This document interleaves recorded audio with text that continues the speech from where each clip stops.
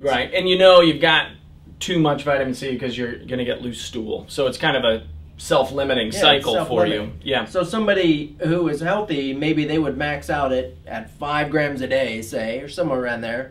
Uh, when they if they actually have the flu, it's entirely possible that over the course of the day they could take twenty grams and and not have any issue. Yeah. Right.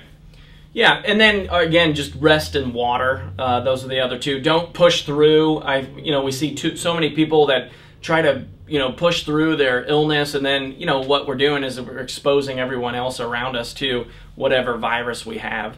Um, so I encourage people, you know, do take. A, if you're not feeling well, don't don't go into work. Um, Your Right. coworkers will love you for that. Don't of not bringing it to them. You know, I used to be a preschool teacher, and I would tell the kids, you know, I, I really love you guys a lot, but don't give me your germs, right? I don't want your germs as they, you know, all. Oh, over yeah. themselves, touching Yeah. everything. Um, so uh, that is Yeah. basically our our cold and flu And one, season. you know, the one uh, final note that I would put on there is is an old doc. You know, been in practice for a lot of years. I remember once told me that the, a cold isn't the disease; it's the cure. right. And the point that he was making was that whenever we get the cold or the flu, even our body is is trying to accomplish something. It's trying to clean itself out. When you think what happens when you get these things, the fluids run and and you know there's just a lot of you know maybe even throwing up or diarrhea or just just your body is cleaning, cleaning, cleaning. Temperature goes up so that the metabolic rate goes up and it's really a, a cleaning out process and there are two paths you can go by you can you can interfere with that process so that you don't have to experience those symptoms Right. or you can facilitate that process to help it resolve faster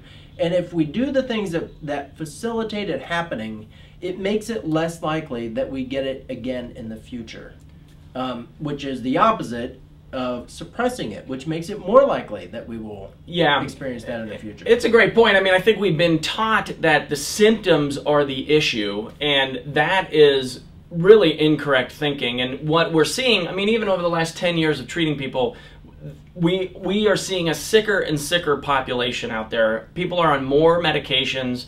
Um, they're not able to handle small viruses, uh, bacterial infections as they were 10 years ago.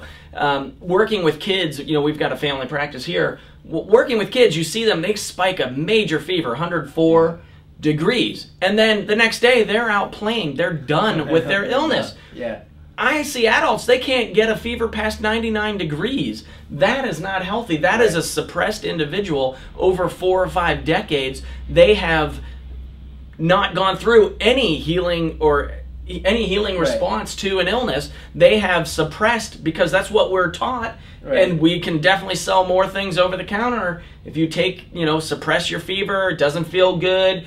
And I'm not saying that these things feel good, but Right. what I what we're saying and what we what we promote in our practice is by going through that with support, of course, I'm not saying just suffer needlessly, but your your system and body actually is in a higher state of being after that. Uh, spiking of a fine fever is a great way to clean the blood out. Uh, you know, I've seen people pass a lot of parasites, uh, other things after getting a very high fever.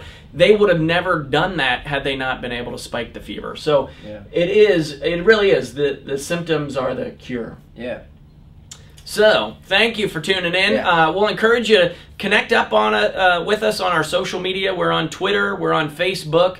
You can send your questions in to questions at naturecuresclinic.com. You have uh, program ideas that you know just anything you'd like to hear us talk through of course you can send those ideas as well Thanks for watching and listening.